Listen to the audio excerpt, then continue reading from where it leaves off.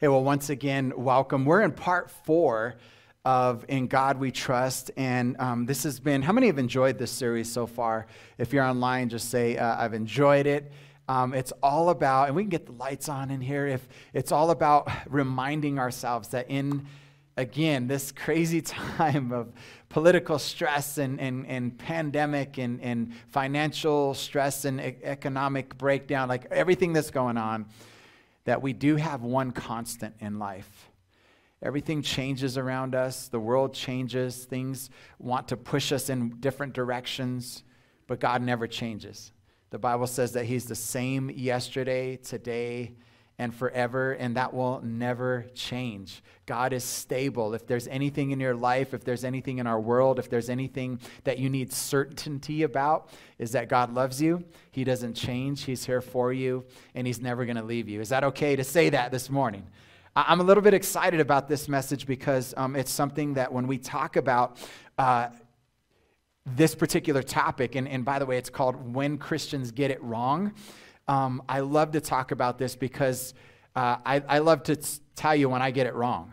And I love to point out when you get it wrong too. No, it's not, not about that. I, I, I just, I really think that this is important for us to hear. And so I want to ask you, and I know it's a lot of stand up, sit down, but it's the best way, especially if you're online, to stay engaged. So I'm going to ask everybody to stand in honor of God's word. And we're going to read John chapter 1, verses 1 through 5, and then 14 and you're welcome to read along with us. Scripture says this that in the beginning was the Word, and the Word was with God, and the Word was God.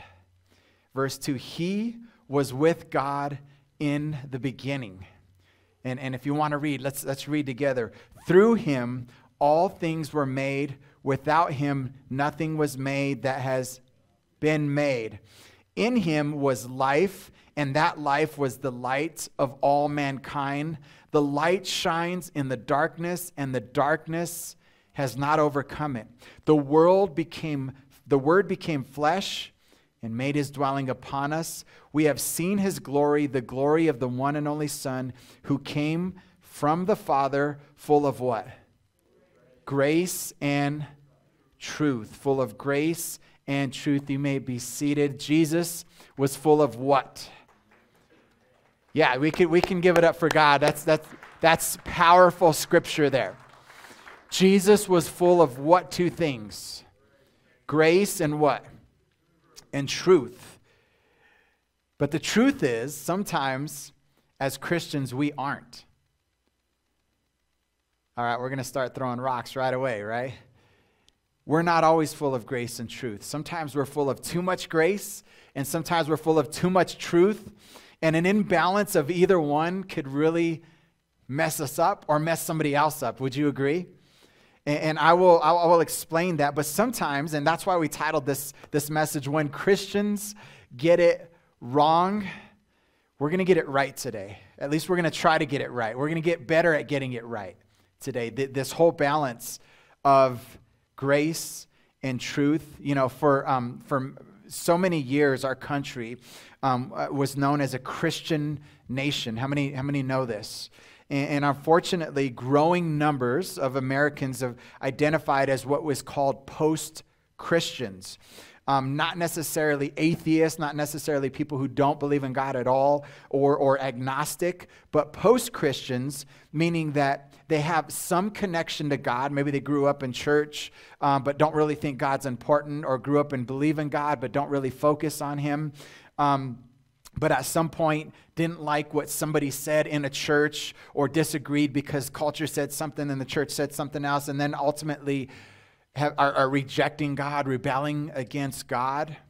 That's happened quite a bit in our nation. In fact, post Christians, um, uh, uh, post Christianity, if you will, is, is changing our culture. And I have a, um, a chart that I want to show you some research that was done. Now, this is the top, I believe, 10 uh, uh, play, 10 post-Christian cities uh, in, the, in, the, in the world, Portland being number two, Providence, Rhode Island, Burlington, Springfield being number one.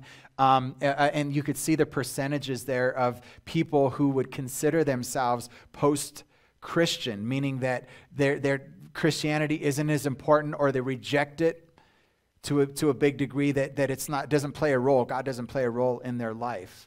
Does anybody want to take a guess at where Denver is on this list of 100? Does anybody know? 14. I didn't put the whole list on there. There's 100. It, you, it, it's small enough as it is to, to even see. But um, we're number 14. This was a, a, a, study done about three years ago in 2017, so still pretty fresh information. So it could be a little worse, could be hopefully a little bit better.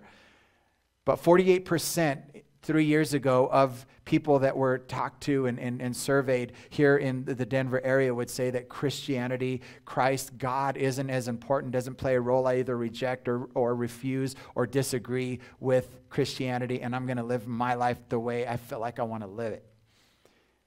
What do you think? That, that's, that's a tough place for us to be in.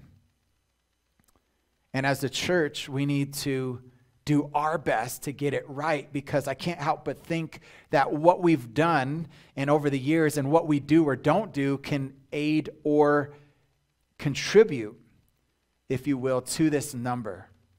And, and, and it's, and it's all about um, us understanding where we're at, to be really honest with where we're at. And I want you to be really honest with yourself today, as I will, and I, and I promise you, I, I, I will myself be honest with you. One of the, one of the biggest challenges um, for us, for church, for Christians who are doing our best, such as ourselves, to follow God, to seek God, is that having an imbalance or balancing one way or the other. Um, because here, here's the deal grace saves and truth frees. There's, there's, a, there's a, a big image there. Grace saves. How many would say, Thank God for grace? But how many know when you understand the truth, it frees you? I get it. I get the truth that Jesus Christ is the way, the truth, and the life, right? But we get to the truth through grace. And the problem is the next slide shows the two side by side. Sometimes we leave, we lean too far over into truth, and we're like, this is who God is, and this is right, and this is wrong, and this is what you should be doing. And you're like, wait, wait, wait, wait, I can't be perfect then. Or we lean too far over into grace, and it's okay. Just, just, it's okay. You're dealing with that, it's okay. Don't worry about it. Like, it's, yeah, just do what you want. God loves you no matter what. Like, anybody, right? We, we lean into two, one or the other, and one or the other extreme, just like in anything, could be unhealthy spiritually, just like in, in, in anything, even, even in nutrition. If you lean into too much of one food, it can hurt your body. A little bit, or, or, or moderation would be, would be healthy, but too much of it would be too much, right? Truth some, some of us, again, on the truth side, we're, we're really heavy on it. And we would, we would look at people, we would look at the world, and we would say, the truth is the world is going to hell, right? Or the truth is they voted the wrong way, and I don't know what the heck is wrong with them. Or the truth is what they do is complete. How could they call themselves a Christian with what they've been doing, or how they act, or what they live, or what, they were being, what they're wearing, right? Any, anybody? Anybody? Experience, or maybe, and, and, and we don't have to do this. We don't even have to raise your hand. Just, just to just have fun with me today, right? Or on the opposite side, it's okay. It's okay. But I keep hurting them. It's okay. But I keep doing this. It's, it, don't worry about it. It's okay. God loves you no matter what. No, no, no balance to that. And here's the deal and here's the problem with leaning into one way or the other. Um, I'll, I'll put this up on the screen. Truth without grace leads to what? Let's say it. Come on, help me out here. Truth without grace, there's a lot of us in here. Truth without grace leads to rebellion, right? When we are all about truth and we're just like, this is how God views this. This is God's way of doing things. This is how God intended you to live. This is how God, and, and there's no grace to that, then I'm going to rebel. I'm going to say, well, you know, that might be the truth, but I can't do it. So, got to go, right? Anybody? Anybody experience that? Anybody? Um, eh, Christians get it wrong, really strict. Uh, uh, when when there are kids potentially who who leave, and I experienced this growing up, like the church that influenced us was, I would say, more truth based than grace, and they would teach us what not to do, and they would teach us that you've got to do this, you've got to do this. I, I remember to this day, Brother D. His name was Brother D. D. Herrera was his, his last name, but they called him Brother D. And he would sit in the back. He had this big belly, right? Big, big, strong guy. Sit in the back like that. And there were more than, more than uh, a handful of times, Art, where he would get this mug, this, this coffee mug, and if me or my brothers or my friends at church were chewing gum, he would put it in front of me. Spit out your gum, boy. You don't chew gum in the house of the Lord. That, that's, that's, the, that's how I grew up. It was like, what? Like, I, I, I'm going to hell. Like, God, don't come back right now because I, I'm not right with you. The second problem is one, truth without grace leads to rebellion. Grace, let's, re, let's do the second one. Grace without truth leads to what? Relativism. Are you with me? Leads to what? Relativism. No such absolute truth, right? If, if everything is just okay, if everything is just God's going to forgive you and just kind of figure it out, then there's, and there's no absolute, like, here's the truth. My truth is your truth, or your truth is your truth. And it doesn't have to be my truth. No one, including God, right, could tell me how to live. That, that type of mentality. As long as you're happy, that's all that matters. As long as you don't hurt anybody, doesn't matter what I do. Have you heard that before? Oh, it matters. Can I just tell you right now? It matters if you're young and you think that what you do, it's your body, your life, you could do what you want and it's not going to hurt anybody else. You're, you're dead wrong. I just got to tell you. You have a family, you have friends, you have brothers, you have sisters, you have uncles, you have aunts, you have grandparents that when you met, when you do something really dumb, it hurts everybody. Can I just tell you that? Sorry if that's a little heavy for a Sunday morning, but it is the truth. It is the truth. And I'm getting to the age where I'm just going to just say it, right? Before I was just like, hey, be careful. You know, no, it's the truth. I'm getting old, right? I'm going to grow out my hair it's all white now. And you're going to be like, all right, that's why he's saying that stuff like that. All right. But, um, but it's common, right? It's common today. Uh, and, and what we need to do, what do we need to do? Like, we need to battle and we need to find the balance between truth and grace. And it can't be just let's get a little Jesus and, and be happy and ignore everybody. Because unfortunately, especially during what we're dealing with right now, we can easily fall into that. And here's what I mean like, we could easily just say, I'm just going to let everybody do what they want to do and, and ignore it and just get a little Jesus and, and open up my Bible, you know, verse once a day and, and, and, and kind of stay in my own little, little world. And just get enough of Jesus to, uh, to make me feel good but not enough to convict me or to help somebody who needs grace, or not enough to help somebody who needs to hear the truth, who knows the grace but needs to hear the truth, or somebody who knows the truth but needs grace. We, we need to, to do something. We need to do something. What, what is grace? Um, grace is charis. We, we, we've, it comes from the Greek grace, uh, from the Greek word charis, and it's the undeserved kindness and I have, a, I have this up here the undeserved kindness, favor, and goodwill of God. Grace is completely undeserved.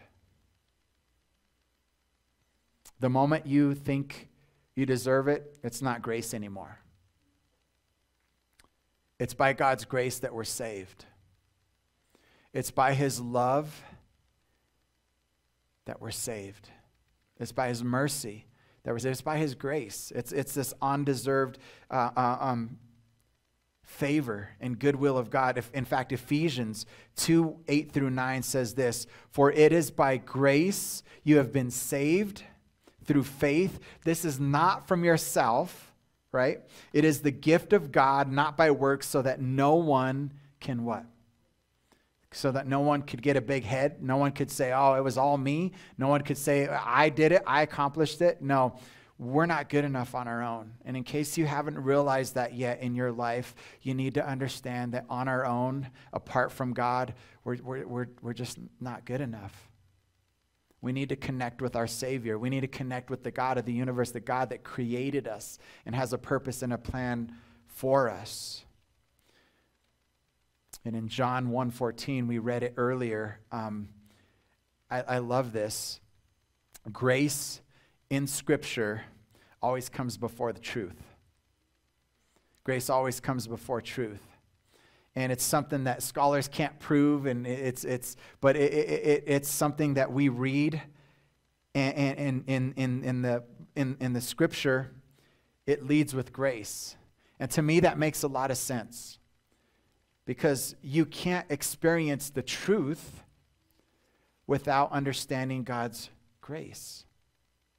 In other words, if, if somebody, if you're listening online and you don't know anything about God and you were to ask me, what does God say about this topic? And I were to just tell you the truth, and maybe you were living completely different from that truth, you'd be like, oh, don't know if I want to go to God, right? But if we were to say, you know what, God has grace, we're broken, He loves you just the way you are. He invites you to be part of His family just the way you are. You don't have to change your behavior. You don't have to change where you're going, what you're doing. You just have to come and understand that you're forgiven, that you're loved exactly where you are. It's by His grace then we understand, oh, God loves me, but I'm, but I'm bad. But He loves you, but you don't know, but He loves you. But, but I can't get over, but He loves you. But I'm addicted to, He loves you. And when you realize that God has grace for us, we could settle into the relationship that He has. And then we're able to start understanding His truth, right? So we understand that God loves you regardless. He knows you're imperfect and you always will be. And as we settle into that to that to his grace, we could start to understand, but here's what God would prefer that you do. Here's what God would, would, would like you to stop doing. And, and it's not because God is this, this, this, this judge in the sky with the big gavel and, and the big sworded bat is going to beat you over the head if you know it, it's because Everything has a purpose. You have a purpose.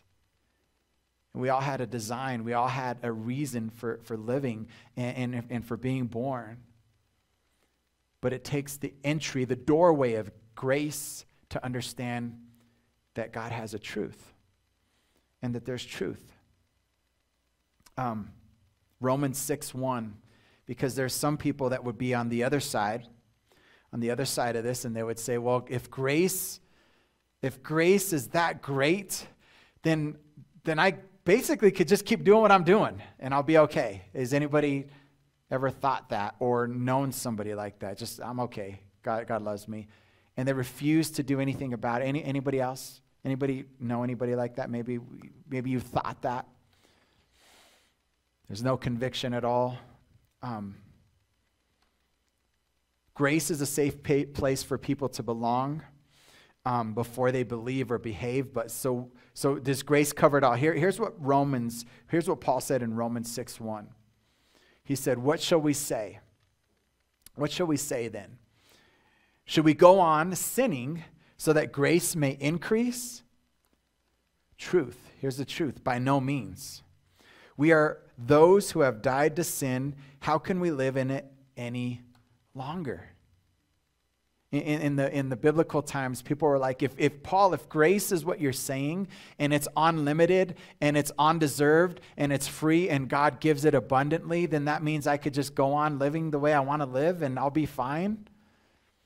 Paul would say, no. I mean, if, if you understand grace, right,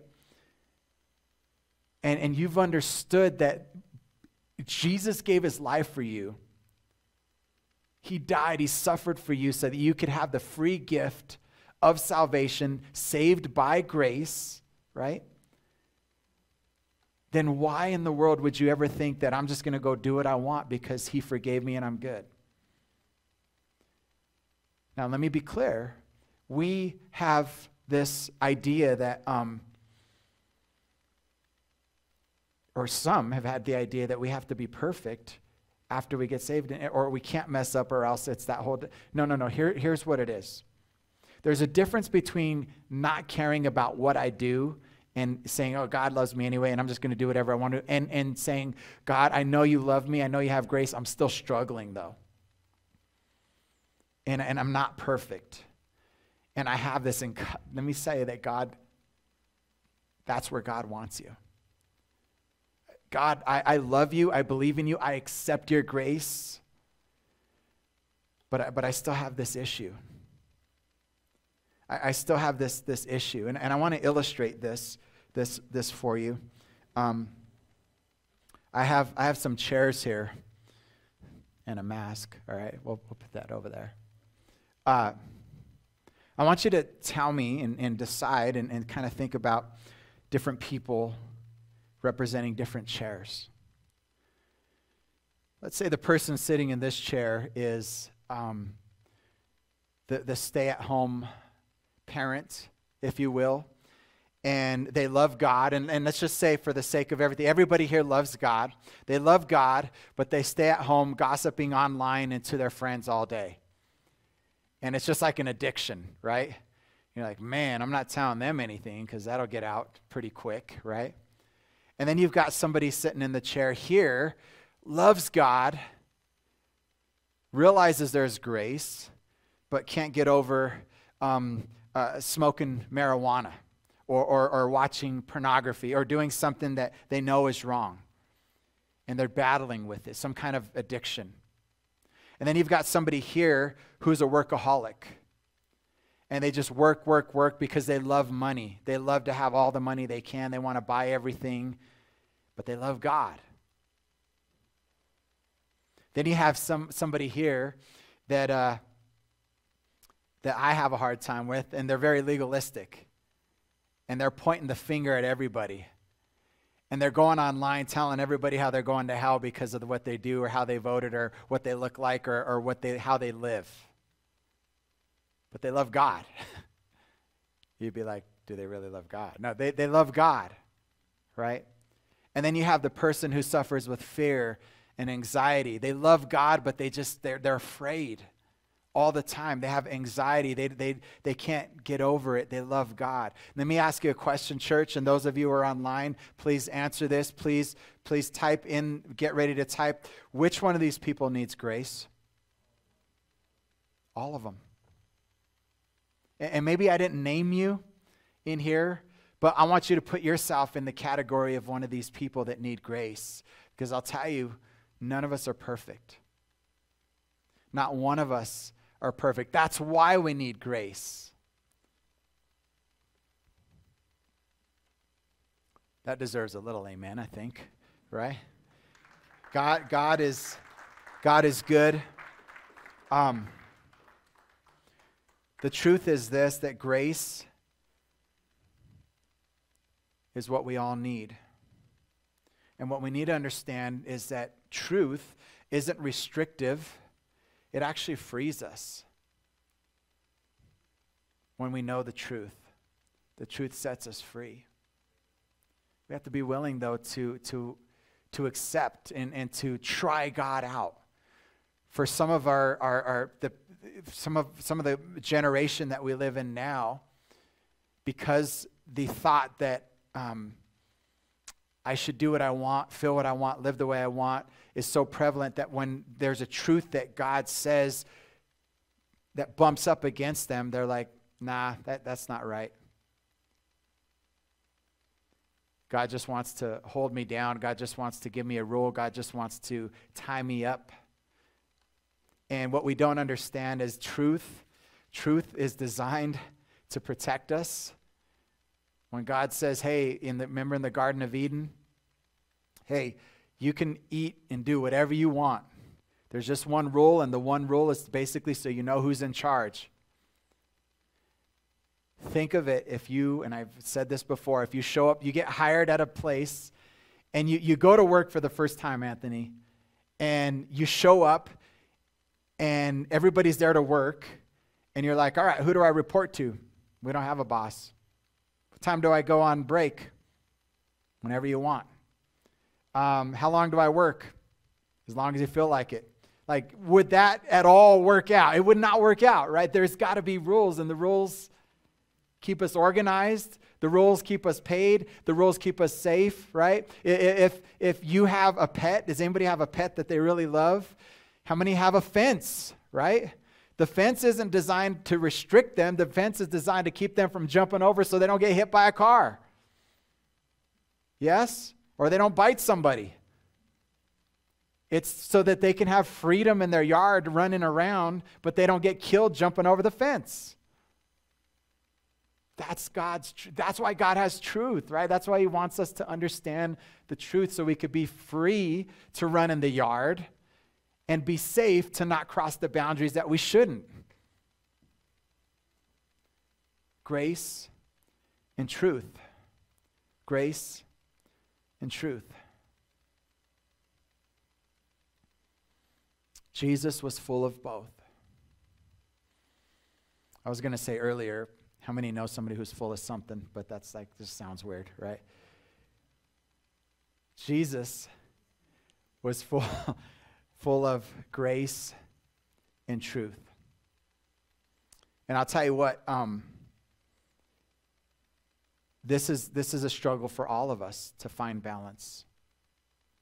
And, and if I had to, and, and, I'll, and I'll set this here one more time, if I had to sit myself in a seat I, I, w- I would sit right here in, in this one.